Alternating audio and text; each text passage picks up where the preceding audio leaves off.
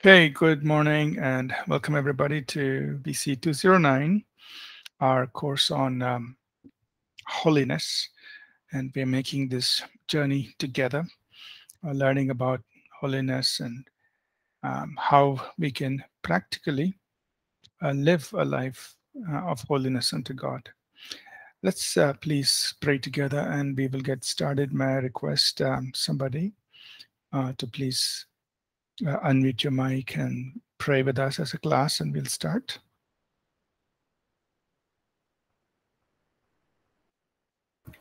Father, we glorify you this morning. Mm. We honor your name because you are so amazing. We Mm. revere you because you are the Most High God. Mm. We thank you for another opportunity, Father, to learn about your holiness as we Mm. strive to be holy because your word to be holy because I am holy. Mm. Lord, continue to pour out in us through Pastor Ashish. Thank you, Lord, for the gifts you've blessed him with so he can equip us, Father, and we can apply what we've learned to our lives. In Jesus' name. Amen. Amen. Amen. Amen. Thank you. Thank you. All right. Good morning, everyone, once again. So, uh, I'm going to just quickly review uh, what we did in our first lecture this week uh, on Monday. We, after we, you know, we we did uh, uh, uh, the, the first section on um, the holiness of God and how we are called to holiness.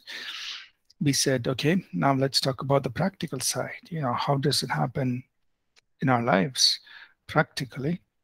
And uh, we introduced a short, small section on repentance, recovery, and restoration. So we started talking about that on Monday. And uh, and the reason we introduced this short section uh, is because repentance is um, an important part of our lives, even as believers. Uh, it was important for us to come to Christ, to faith in Christ, but it's also important for us as we make this journey of faith. And so we're just trying to understand, you know, what is repentance? And uh, hopefully today or uh, definitely by Monday next week, we will also look at the process of repentance.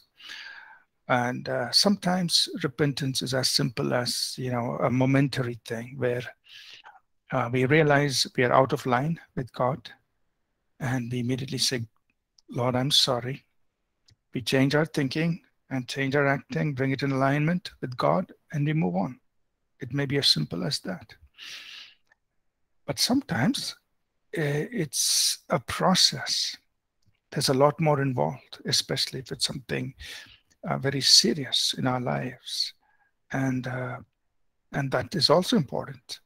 Uh, we need to understand that, and we need to yield ourselves to the process of repentance, recovery, and restoration, because that's going to bring us back to a place where we need to be before God to continue in our journey towards uh, living holy before Him. So I'm just going to quickly review. I'm going to share my screen and then we're going to review what we did on Monday, then go forward. Um, and let's see, you know, how much we can cover today. And um, so uh, we started this this past Monday. We uh, we established the fact that repent repentance is important for us to come into a place where we can believe. So repent and believe. So in order to believe, to be in this place of faith, and that's the place that receives from God, the place of believing, the place of faith. In order to believe, I need to repent, repent and believe. We also saw that repentance is important for us to experience, encounter, and experience the kingdom of God. So God is offering He's made the kingdom, his kingdom, all that is available in his kingdom. He's made it ac- accessible for us. It's at hand, it's within our reach, it's available for us. But we need to repent in order to experience the kingdom of God. So repentance is also important in that. And we said that repentance is not just for sinners, but it's for the church as well. And we quickly mentioned you know, we just highlighted the fact that uh, Jesus, when he spoke to the churches, seven churches, um, five of them, two, five of them, he said, you know, they needed to repent of something that he pointed out. And we'll look into that uh, a little bit later. Then we said, okay, let's understand what is the meaning of repentance. And uh, very simply, in the New Testament, it's it means to think differently. So it starts with that my willingness to change my thinking, uh, to change how I see something, to change my mind about something. So change my thinking. And of course, it will lead me to act differently as well. So to change in thinking, leading me to acting differently. And essentially, what we are saying is, from based on Isaiah 55, 6 through 9, we said, we are forsaking our ways and our thoughts, and we're embracing God's ways and God's thoughts. That means we are choosing to think like his the way he thinks. And then we're choosing to act how he would act, his thoughts and his ways. And that really is repentance. So when we make that change, uh, we have actually repented according to the Bible definition. Right? So it could be as simple as in a moment I realize, hey, I've been thinking wrong and therefore acting wrong. And I realize that and I change and based on the word of God, embrace God's thoughts and God's ways. And I have actually repented. Uh, but sometimes to make that change, uh, I may need some help. I may, know, I may go through some struggle with my own mind and my own flesh, so on. It may not be very easy uh, because the flesh seems to have a very loud voice. But the other thing we see the New Testament emphasizing is that uh, there has to be fruits of repentance. So it's not just, I can't just say, well, I've, I've changed my mind about something, which is good. It's a starting point. But it has to culminate in action, changed action or a changed life. So repentance doesn't stop with change in thinking, it follows through with change in action. So that's important, that's emphasized in the Bible. And um, then um, John John the Baptist was preaching. He said, you know, bring forth fruits that demonstrate repentance or prove your repentance by a changed life. Or when the apostles were preaching, they preached, you know, we must demonstrate it with a changed life. But that change in behavior, change in my action, sometimes requires some uh, a painful step. You know, it requires a painful step that where I it, it, may involve plucking out and cutting off something and getting rid of something. You know, and, and Jesus put it like this, you know, you, you pluck out your right eye if that's what's causing you to sin, or you cut off your right hand if that's what's causing you to sin. Eh, eh, of course, we know he's speaking figuratively, telling us that if something is so close to us, yet if it is causing sin, causing us to sin, you know, we need to deal with it, pluck it out, cast it out. And that can be painful. And sometimes we may not be able to do it on our own. And so we may need the help of, you know, a, a, a brother or sister who can, you know, somebody who can just encourage us to do it and to stay with that decision. And that's why we need each other as well. And God, of course, helps us by His grace and by His Spirit. And uh, sometimes even the willingness to do it may not be there you know, uh, we face we are faced up with the truth. Uh, we face okay, this is the way of this, these are the thoughts of God, and these are the ways of God, and I'm here in my thoughts and my ways. Uh, but sometimes I may not even be willing to make the change. And that's where the Bible says, you know, God works in us to make us willing and able to do his good pleasure. So I just go to God and say, God, help me to become willing. You know, sometimes it starts with a prayer like that. God, help me to become willing to do your will, to make this change in my thinking and my acting so that I can pursue holiness in my life. And then God is faithful. He will work in us as long as we are open. He will work in us to make us willing and able. And this is where we stop last class. You know, the assurance we have throughout Scripture, Old and New Testament, that look, if we return to the Lord, there's always mercy, there's always forgiveness, there's always the goodness of God. If we return, say, God, I'm coming to you. I'm forsaking my thoughts, my ways, and I'm returning to the Lord. He will have mercy and He will abundantly pardon. He will restore and He will bring about a recovery and a restoration in our lives. That is always assured for us. And, you know, I just uh, listed out many of these scriptures that we find where God over and over again assures his people, look, if you return, I'm going to heal, I'm going to, you know, I'm going to do a work in you. And so there's there's really no reason why we shouldn't return to the Lord uh, at any point when we when we know that we are uh, out of alignment with God.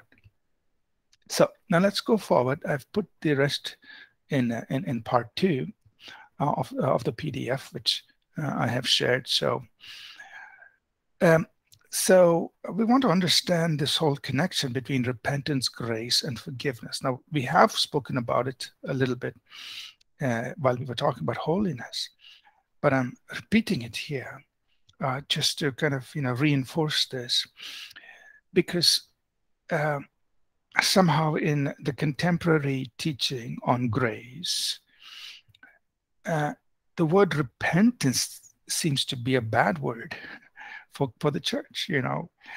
Um, in uh, in some of the, the the, the the modern church or the postmodern church, it's like you don't. It's almost like you never tell a believer to repent. Uh, repentance is never preached to a believer or to the church, uh, because the emphasis has been so much on grace and goodness of God, which is true. We need to feed upon the grace and the goodness of God. Hey, but uh, if a believer is doing something wrong, uh, we have to address it and we have to say, look, you need to repent. You need to change your thinking and your acting and get into line with God's ways and God's thoughts. Uh, that has to happen.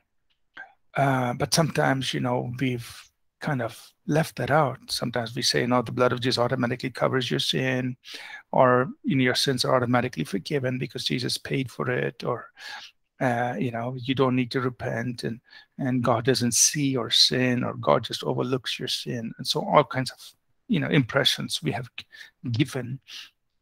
But we need to, you know, we need to correct that. And so this chapter is in some way, you know, highlighting certain truths in the New Testament or certain portions of the New Testament that speak towards this. Uh, speaking to us as believers, telling us that uh, this repentance is an integral part of our Christian life. It's not to be shunned, it's not something to be avoided, but it's something that we just practice normally uh, uh, every day or you know as and when you need. So think about repentance righteousness and transformation. Now the apostle paul is the one you know who especially in the book of romans uh, who brings this out so so beautifully. And and if you just follow the train of thought in romans chapters 5 through 12 and I'm just outlining this here. And it's, it's really beautiful to study those chapters, which we will do next year. Um, in Romans 5, he brings out this beautiful truth that we are justified freely by the grace of God. And God has given to us the gift of righteousness. That means God has already made us righteous in his eyes. But right after that, in Romans 6, chapter 6, he says, we have received grace, we have received righteousness, but we cannot continue in sin. Right? And instead, he emphasizes the fact that the power of sin of our lives are broken. You don't have to live in sin. In chapter 7 of Romans, he highlights the fact that uh, uh, an, uh, an unregenerate man cannot keep the law. Even if he wants to do what is good, there is sin that's dominating him So, apart from what God has done for us on the cross and the work of the Holy Spirit, we cannot live this holy life by ourselves. And then, having stated that in Romans 8, he brings us to the understanding that the Holy Spirit living in us is the one who puts helps us put an end to sin in our lives the holy spirit christ has done the work on the cross and the holy spirit makes it possible for every believer to bring an end to sin and then there are some you know chapters 9 10 11 are parenthetical he he kind of just deals with uh, you know uh, Israel, uh, Israel and the church. Then in Romans 12, he comes back to the believer and he says, Look, so now you have to live a transformed life by renewing the mind. So Romans 6, the cross, Romans 8, the spirit, Romans 12, the transformed mind. The transformed mind. Uh, the, sorry, the renewed mind that leads, leads to a transformed life. So the renewing of our mind, I'm constantly changing my thinking, constantly changing my thinking to think in God's ways. And that's going to constantly change my or transform my way of life. So basically, Romans 12 is, you know, if you want to put it, uh, a very concise picture of repentance. I'm renewing my thinking. My way of living is being constantly transformed. Renewing your thinking, changing your thinking, repentance. Changing your living, repentance.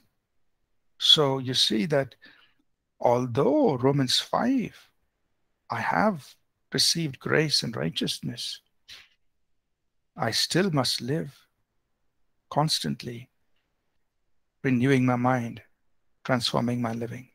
So that that that repentance is an ongoing thing in the everyday life of the believer. And eventually we are being changed more and more into Christ likeness. So it's it's highlight it's just you know it's just beautifully brought out there in Paul's epistle to Romans. Then if you journey through all his other epistles, in fact, all the other epistles, whether it's written by Paul or the other other apostles, in all of these epistles, they do emphasize the fact that we have to live in righteousness. We have to practice right living. Uh, we are forgiven, we are redeemed, we are washed, we are sanctified, we are justified. God has done all of that, but it's not a license to live any way we want to. We have to live in righteousness. I just highlighted one verse of script, passage of scripture there in Titus 2, where you know he says, Look, the grace of God, the grace of God, the grace of God has brought us salvation. But what does the grace of God call us to? It teaches us. So, what is the grace of God teaching us? It teaches us that denying ungodliness and worldly lusts, we must live soberly, righteously, and godly in this present world. So think about this. The grace of God teaches us to deny ungodliness and worldly lust. So if let me put it like this, and it's it might sound rather blunt, but if any teaching of grace doesn't lead us to deny ungodliness and worldly lust, then that grace that is being taught about is not the grace of God. Because the teaching of the grace of God, or the grace of God that the Bible talks about, teaches us or instructs us to holiness to deny ungodliness and worldly so that he can, you know, we can be a people are redeemed from every lawless deed, and we are purified for himself. Uh, we are his own special people living in good works. So that's the the essence, if you say. The, the, the, the New Testament saying God's grace has been given, but it leads us to holiness. Another thing we see um, emphasized in the epistles is the relationship between fellowship with God, repentance, and forgiveness. And uh, the Apostle John brings this out very beautifully uh, in his first epistle. You know, uh, he says, Look, we have fellowship with him. So, what an honor. Uh, we are fellowshipping with God, with the Father, the Son, the Holy Spirit. We are walking in close fellowship, communion, koinonia, friendship, intimacy. We're walking in fellowship with Him. But in order to walk in that place of fellowship with Him, we cannot walk, we cannot walk in darkness. And if we say we are having fellowship with Him and walking in darkness, then we are actually lying. But we must walk in the light as He is in the light.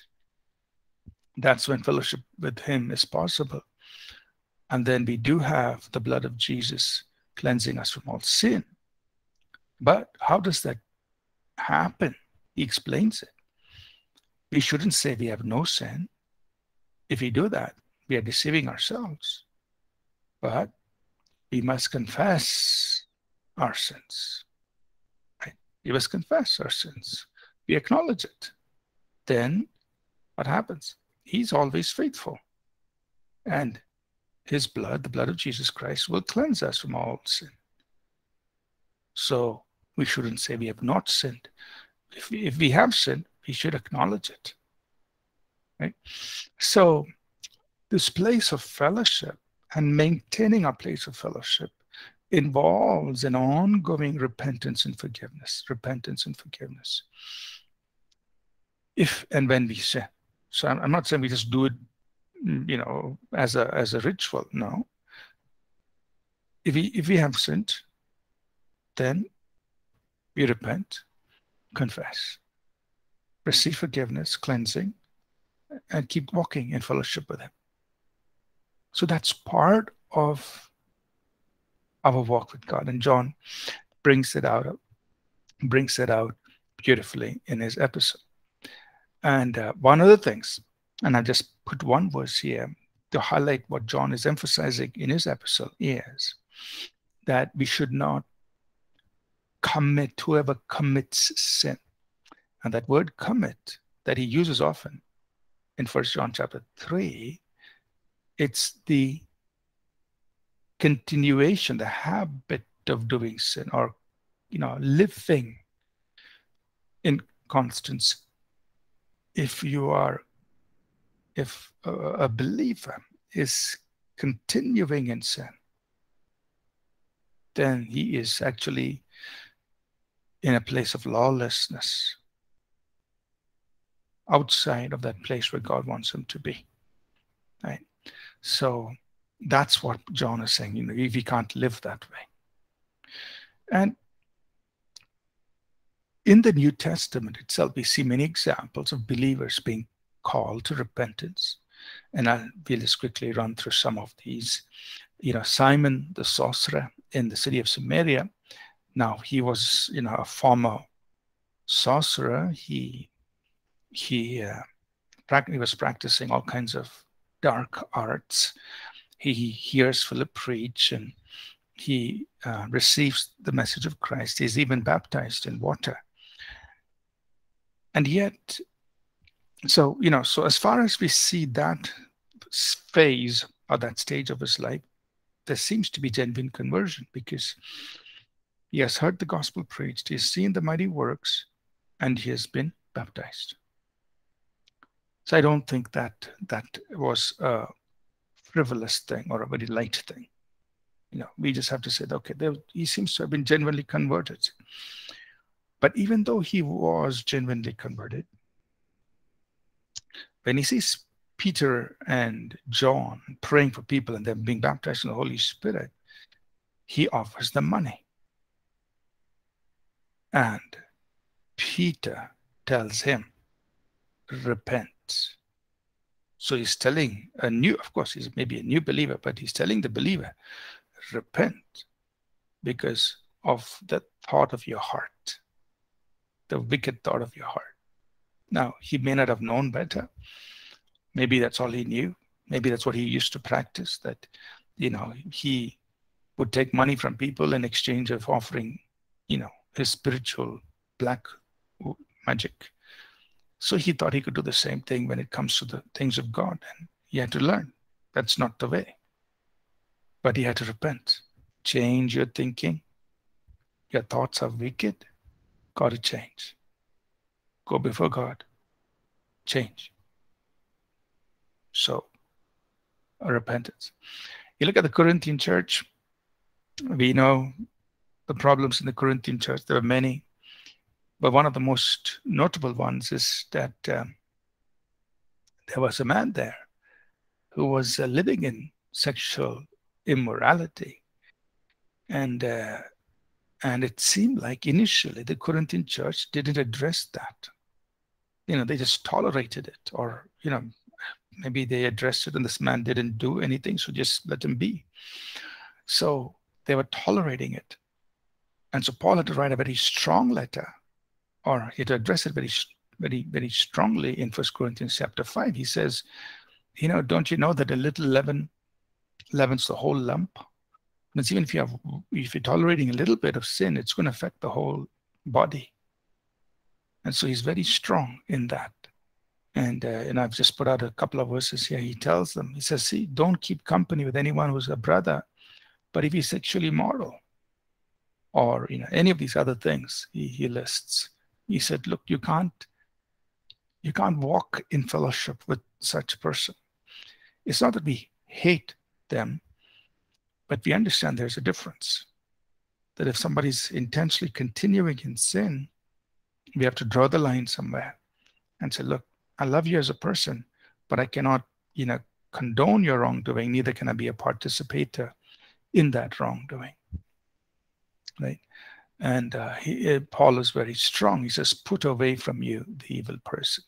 That means you've got to deal with that. Even the church has to deal with that. There has to be a change in the way they're thinking about this person whom they're tolerating in their fellowship. And he's correcting that. Put away from you that evil person.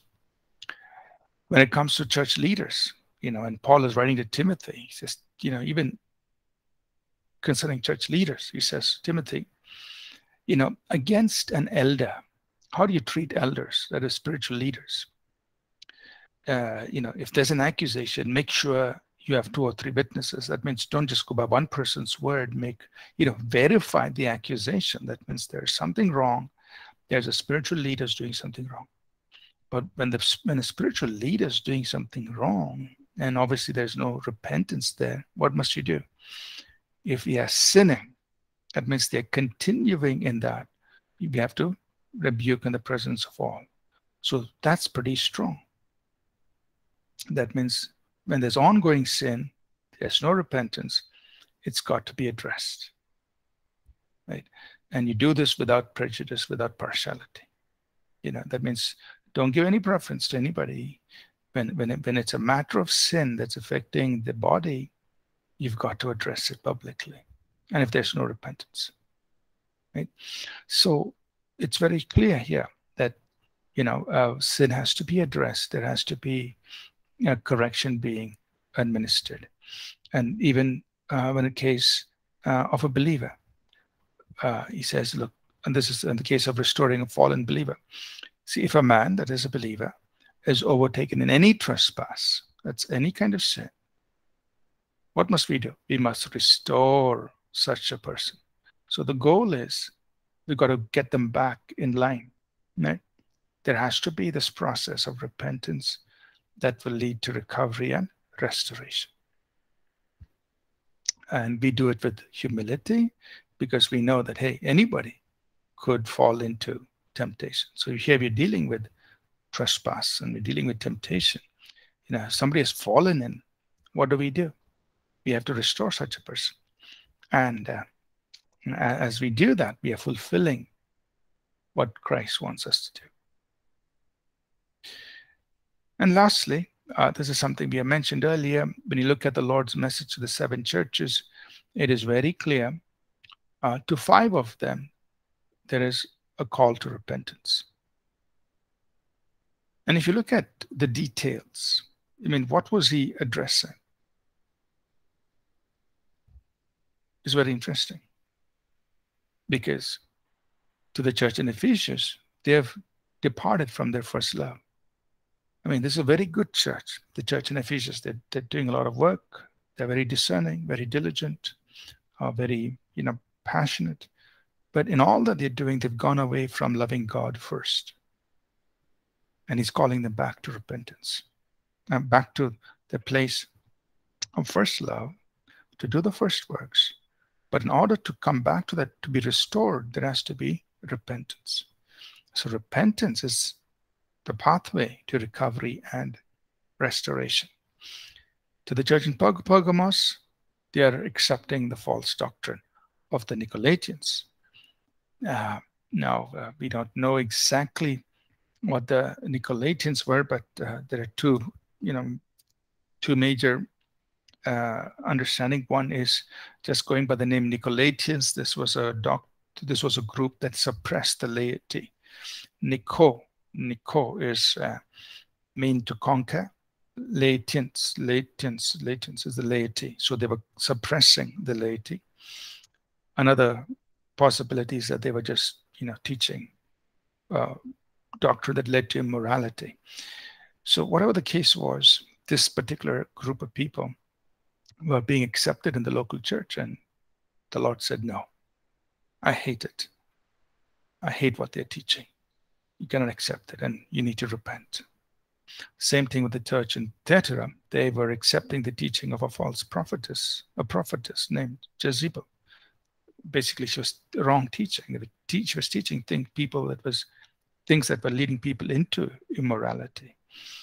And there again, he says, you got to repent. The church in Sardis, uh, they had a great reputation, but their works were not right before God they were doing things God didn't want them to do.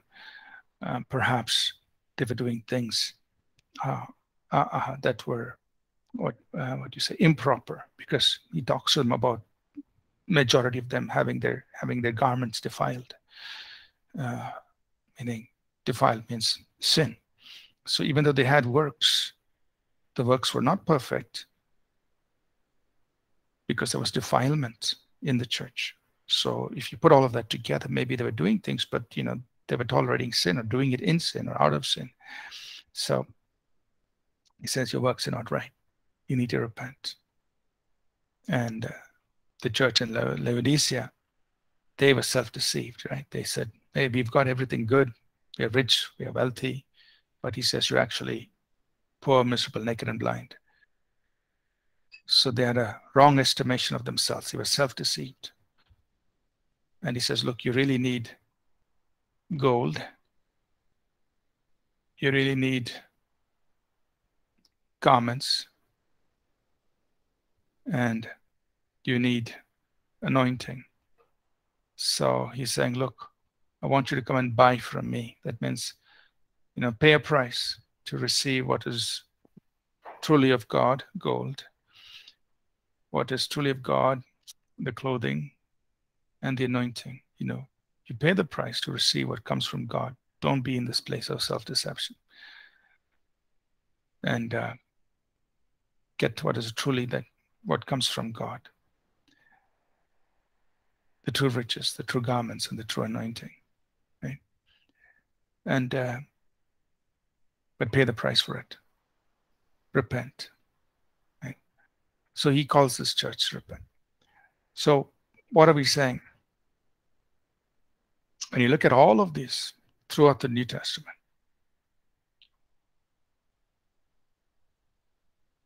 it is absolutely important for believers, individuals, for the church, for the collective community be in this, uh, I'm just saying, in a place of repentance, meaning I must be constantly willing to correct myself. Lord, I was wrong. I put myself I change my thinking and my acting to align myself to your ways and your thoughts. So it's an it's it's a continual thing. I'm not saying we should live in condemnation or live in, you know, always a demeaning, self-demeaning manner. That's not the point. The point is we need to be living in a place where we are constant willing to be to change because we see this throughout the New Testament. So let me pause here, take any questions, and then move forward into the next chapter. Let me just see if there are any questions here. Um, any questions so far? Everybody's with me?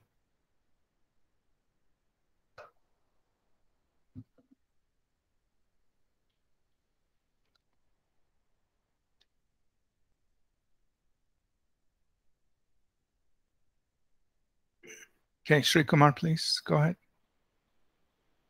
Thank you, Pastor. Uh, Pastor, um, there are in case, um, in case, um, if the people, if as you said, when the Holy Spirit uh, inspires them, or like how you, how you, um, like how how it is written in Acts chapter eight, verse twenty-two, and um, in the First Corinthians 5, 11, 13, um, how the Paul is, uh, you know, telling them to repent um, I just want to know that um, uh, that uh, even after receiving that instruction from the Holy Spirit, even if uh, directly the church, like as you discussed about uh, the grace uh, is to deny the godliness. It's not for you know denying the godliness.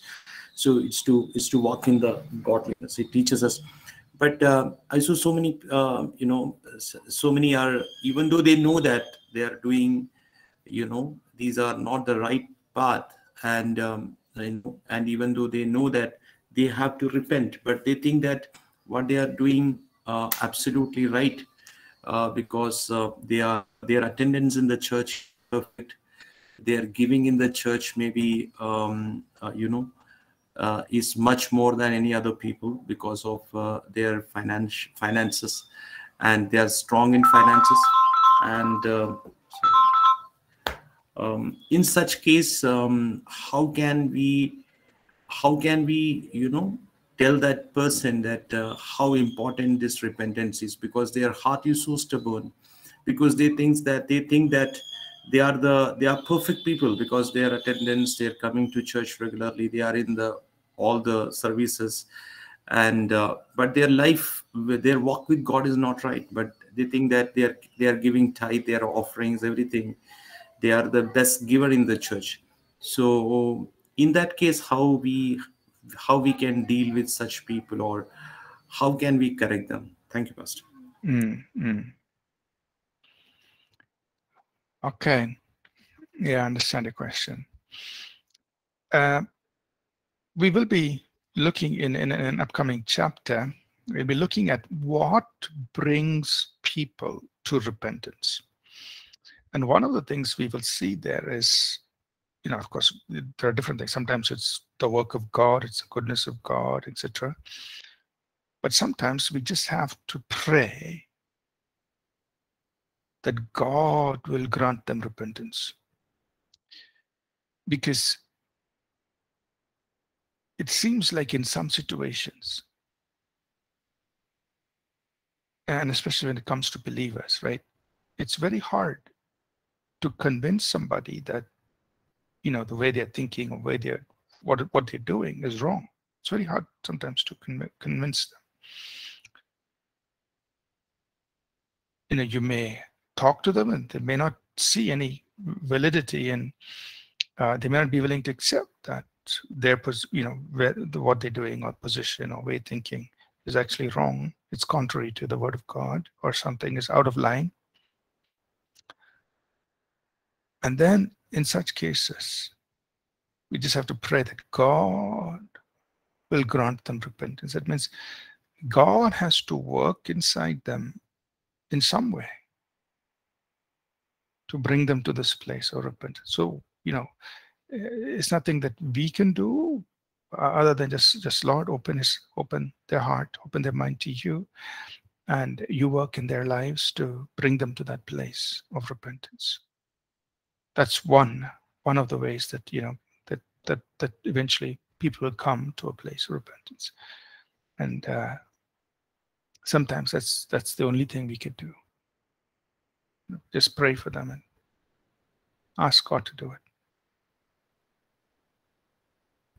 Yeah. Thank you, Pastor. Yeah. Okay. Any other questions? Okay. Let's cover a little bit more ground before we close.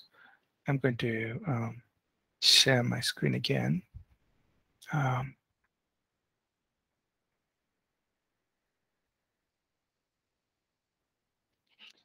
so the next point I just want to highlight, maybe we can cover this before we go for the, for the day is this. You know, another common mindset, perhaps a misconception that that we have as believers is in our mind we think you know there are small sins and big sins and uh, and i just want us to you know try to see things from god's perspective you know, and you look at it from the scriptures. Think about lust and adultery. Jesus put both these things on the same level, right? That's in Matthew 5. He said, if you look at a woman to lust after her, you've committed adultery in your heart. So there's adultery of the heart, and then there's the adultery, the physical act of adultery. Now, you know, of course, this wow, physical act, will say, oh, that's, you know, some person did it. But then what about in the eyes of God, there's the adultery of the heart, and that's equally wrong. I think about hate and murder. This is First John 3.15, where John says, He who hates his brother is a murderer. Now, physically, if somebody murders, it's a big thing. But in the eyes of God, if you hate your brother, it's murder. Or think about pride, sexual immorality. Think about sowing disunity and idolatry. Think about speaking lies or killing the innocent. Now, we would always, you know, we'd say, oh, killing the innocent, that's such a, you know, big sin. Or idolatry or immorality, these are big sins. But we don't pay attention to things like pride, sowing disunity, or speaking lies. But if you look at Proverbs 6 and also you see Revelation 21, all of these lead to the same place. All of these are an abomination to God, first of all. Proverbs 6, I mean, God hates them. All of these. And all of them lead to the same place. In other words, God sees pride or sowing disunity or speaking lies as evil or as abominable as immorality, idolatry, or killing the innocent. So, but generally, you know, we tend to tolerate if if somebody speaks lies, okay, we tolerate that, and then we go after those who are killing the innocent. Well, in God's eyes, both are equally sinful, equally abom abominable. You know, we we go after people in idolatry, but we tolerate people who are actually dividing us, and so on. So what I want us to, I mean, this very small section here, what I want us to, at least for ourselves, is all sins, great and small. This great and small is this according to our understanding. But uh, all sins, great and small, we must recognize they're equally detestable in God's eyes, and so they should be equally detestable in our eyes. Inasmuch as much as we do not tolerate adultery, we must not tolerate lust in our hearts. Inasmuch as we would never commit murder, we must never tolerate hate in our hearts. Inasmuch as we would never do commit immorality, we must not tolerate pride. Inasmuch as we would never engage in idolatry, we must not sow disunity. Inasmuch as we would not kill the innocent, we must not speak lies. For us, all of these, all sins, uh, should be, you know, detestable. We want to keep ourselves clean from anything that can stain our flesh or spirit, and perfect holiness in the fear of God. That means we just don't tolerate sin, full stop. Small or big, it doesn't matter.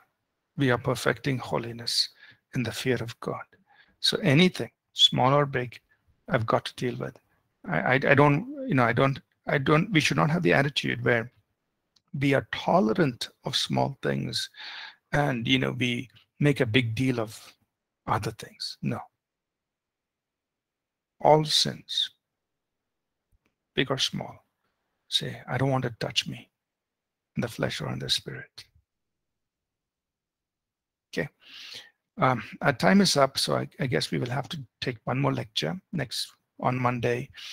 We will cover this. You know, what leads a person to repentance? I, I know um, uh, Sri Kumar just asked a question, so we'll look at you know what brings somebody to a place of repentance. We need to look at some other things there.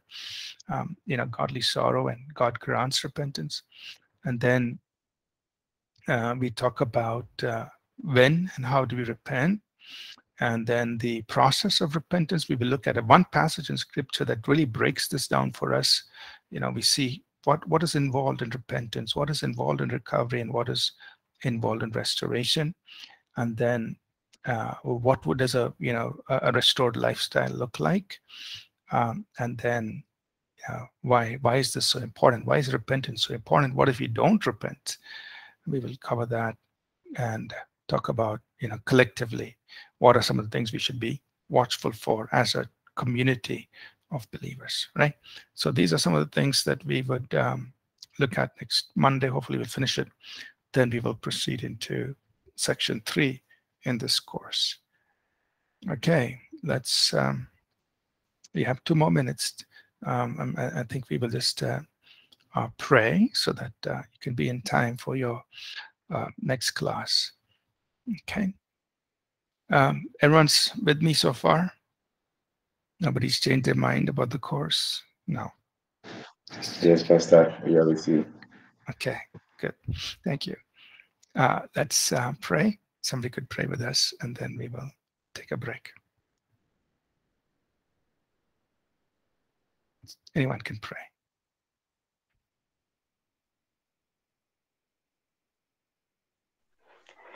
Let's pray. Lord, we thank you, Father. We thank you for the wisdom and the, the knowledge you're imparting us, Lord. And we we thank you for your hand and your knowledge and your blessing that you've imparted in Pastor Ashish's life, Lord, so that he, through his life, Lord, you may teach and then uh, through his life, Lord, you may advance your your gospel, Lord, through all the corners of the world. And we pray, Jesus, that you will continue to empower him, Lord. You'll continue to teach him, Lord, so that through him, Lord, he may do wonders, Lord, and you may influence Lord, all cultures and all nations and all uh, races, Jesus. We thank you, Father. Be with us and protect us, protect our mind. In your mighty name, Lord Jesus, we pray. Amen. Amen. Amen. Thank you, everyone. Uh, enjoy um, the rest of your day. I'll see you all next week. God bless you. See you soon. Bye now. Thank you, Pastor. Thank you, everyone. Thank you. Thank you, everyone. God bless. Thank you, Pastor. Thank you. Thank you. God bless. Thank you. Thank you.